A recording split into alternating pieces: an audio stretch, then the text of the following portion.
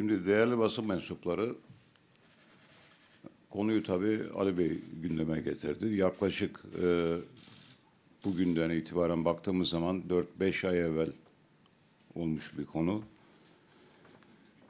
Ortak tanıdığımız bir arkadaşımız beni ziyaretle Ali Bey'in e, söylediğinden farklı olarak beni ziyaretle kendisinin e, Türk futbolundaki bu gergin ortamın e, ortadan kalkması yönünde bir e, çağrıda bulundu bana. E, Ali Bey'le bu konuyu görüşebileceğimizi, hatta e, kendi düzenleyeceği bir mekanda beraber buluşabileceğimizi ve artık e, Türk futbolundaki, Türk sporundaki bu gergin ortamın son bulması için e, görüşebileceğimizi, bugün böyle bir görüşmeyi düzenleyebileceğini söyledi. Ta işin başından beri e, Türk sporuna hakim olan bu gerginliğin ortadan kalkması ve e, daha güzel günlerde bu sportif yarışmayı yapabilmemiz için ben bu görüşmeyi kabul ettim. Ali Bey de kabul etti. E, dolayısıyla e, daha sonra Ali Bey bir e, bir açıklamaya istinaden bu görüşmeyi iptal etti. Dolayısıyla olayın özeti budur. O günkü benim tavrım Türk sporundaki bu gerginliğin bitmesi konusunu acaba görüşerek çözebilir miyiz düşüncesindeydim. E, fakat e, rakibimizden e, bu görüşmenin iptali konusu gelmiştir. Keşke o gün görüşebilseydik. Keşke bugünlere gelmeseydik.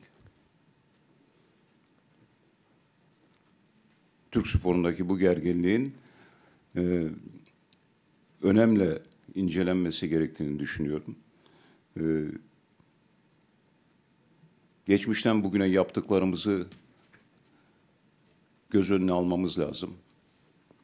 Bunların Türk sporuna ne kadar faydası olmuştur, ne kadar zararı olmuştur. Bu muhasebenin yapılması gerektiğini düşünüyorum. Bugünleri hazırlayan, e, geçmişteki bu söylemlerin artık bitmesi ve bütün camialara itidalin hakim olmasının gereği ortaya çıkmıştır. Dolayısıyla vuku bulan olaylar detaylı bir şekilde incelenmeli. Kapsamlı bir inceleme yapılmalı.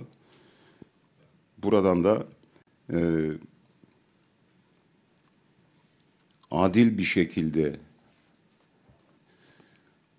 bunların önüne geçmek için gereken cezalandırılmanın yapılması.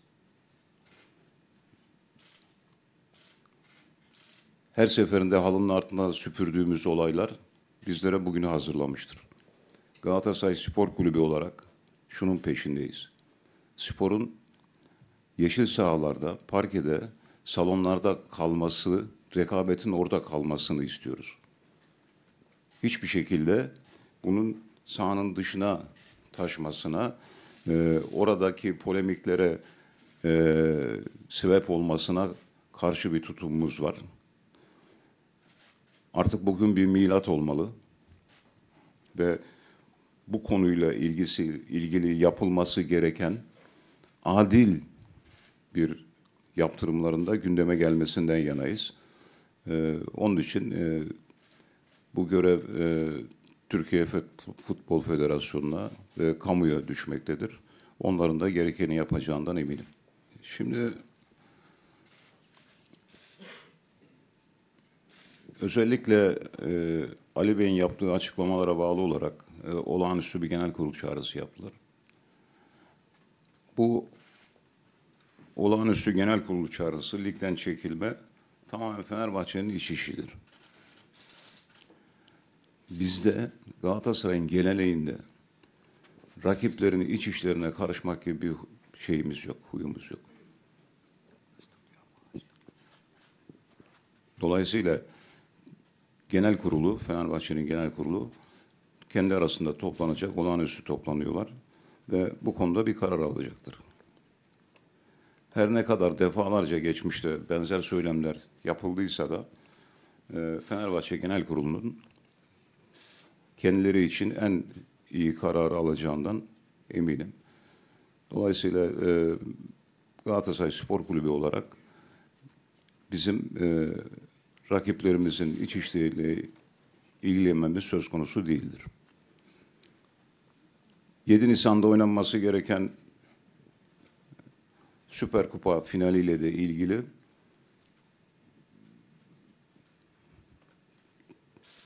karar mekanizması Türkiye Futbol Federasyonu'dur. O güne kadar olan gelişmeler, o gün bunun nasıl bir ihtiyaç olup olmadığını değerlendirecek de Türkiye Futbol Federasyonu'dur. Galatasaray'da gelişmeleri izlemektedir. Türk futbolunun hayrı için e, Türk futboluna faydası olacak her türlü kararın Galatasaray arkasında durur.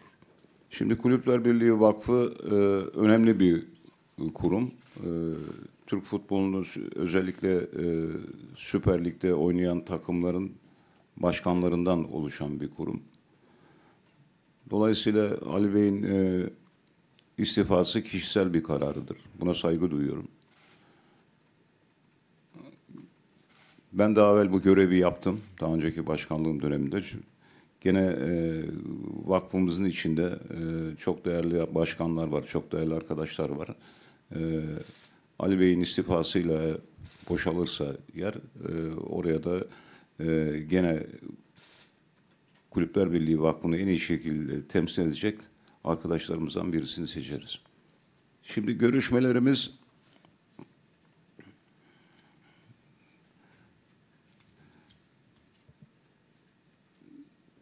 Tabii olayların olması, olayların bu seviyeye gelmesi en önemli konu. Olayların bu seviyeye gelmesi en önemli konu. Şimdi buraya nasıl geldik değerli arkadaşlar? Bu duruma Türk futbolu nasıl geldi? Bence üzerinde durulması gereken en önemli konu bu.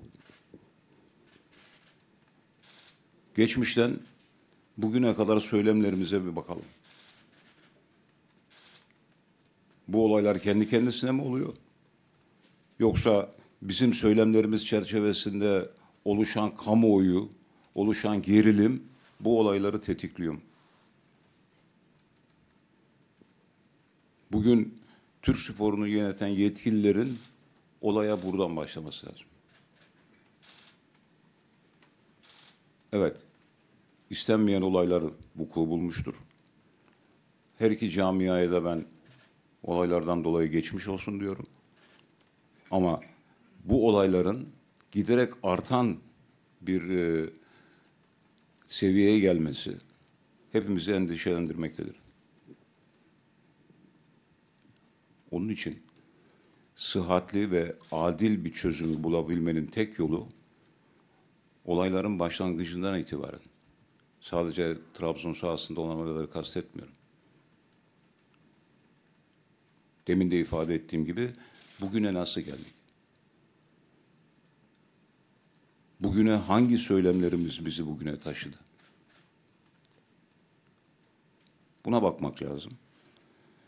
Dileğim bu tip olayların artık gündemimizden kalkması, demin de ifade ettiğim gibi bu olayların bir milat olması ve adilane bir şekilde olaylarla ilgili kişilerin veya kurumların, kişilerin cezalandırılması ama adil bir e, araştırmanın yapılması dediğim gibi sadece olayları güncel seviyede değerlendirmek yerine bu olaylara gelişimizi, nelerin sebep olduğunu, bu gerilimi neyin artırdığını inceleyerek bu olayların önüne geçilmesinden yanayım.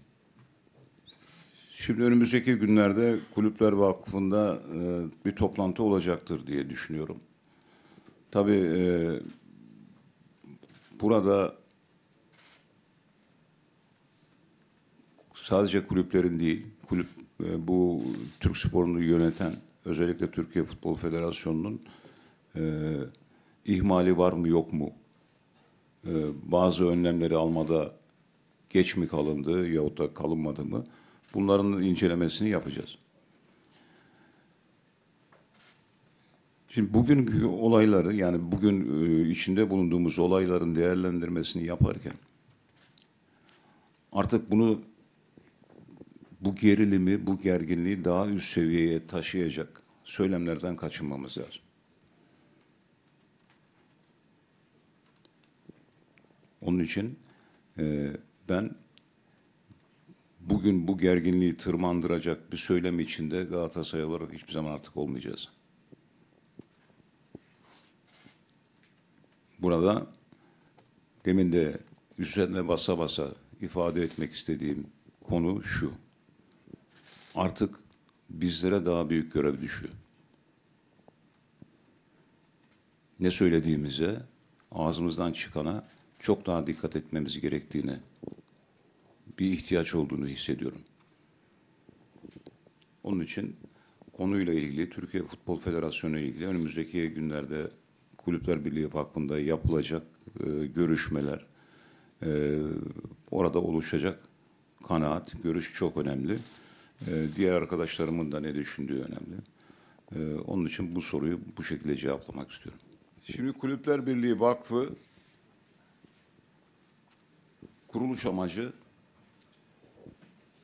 vakfa üye olan Süper Lig takımlarının başkanlarının bir araya geldiği ve görüşlerini paylaştığı ve federasyonla Türkiye Futbol Federasyonu'na olan ilişkilerin bu seviyede yürütülmesi için kurulmuş bir vakıf. Bunun amacı Türk sporunun, Türk futbolunun marka değerini mümkün olduğu kadar yukarı çekmek ve Avrupa'daki ve dünyadaki e, futbol müsabakalarında Türkiye'yi en iyi şekilde temsil etmek üzere istişare edilen istişare eden bir kurum. Kurum görüşleri oluştuktan sonra da Türkiye Futbol Federasyonu ile görüşlerini Türkiye Futbol Federasyonu'na iletir ve onunla yapılan yani federasyonla yapılan görüşmeler ve istişare sonucunda da Türk futbolu için en faydalı olan e, kararların alınmasında e, destek verir. Dolayısıyla önümüzdeki günlerde de biz e, bu kabil bir toplantı olacağını düşünüyorum. E, bu toplantının neticesinde de burada oluşan görüşü Türkiye Futbol Federasyonu'na ileteceğiz. Tabii karar verici Türkiye Futbol Federasyonu.